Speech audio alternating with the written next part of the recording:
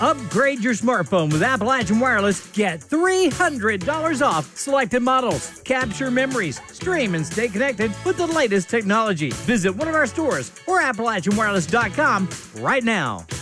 The US 23 Country Highway Museum will be hosting their first ever 50s night Saturday, June 24th. The event will include dinner, skits inspired by Happy Days, and a live DJ. Um, a group of our normal uh, local folks from Front Porch Picking got together and wanted to do this for the community. So it's going to be a nice little skit thinking back to the 50s uh, TV show Happy Days. So the evening will begin with a 50s themed uh, hamburger dinner. So you'll have hamburger fries and a Coke.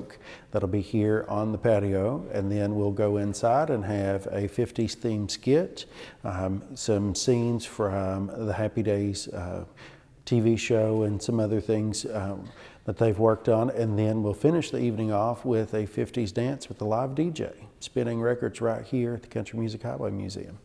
The event will be held from 6 to 9 p.m. and is $10 per person. So the idea is to increase programming here at the US 23 Country Music Highway Museum. And this is one of the things. We take our local talent that we have. We had a, a, bunch of folks from Front Porch Picking that wanted to come out and do this. So we wanted to give them something to do. And of course, everyone loves the 50s and uh, Happy Days theme. And it's a cool theme and, and get people out and get them moving.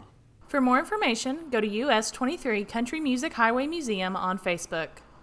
Reporting for Mountaintop News, I'm Brianna Robinson.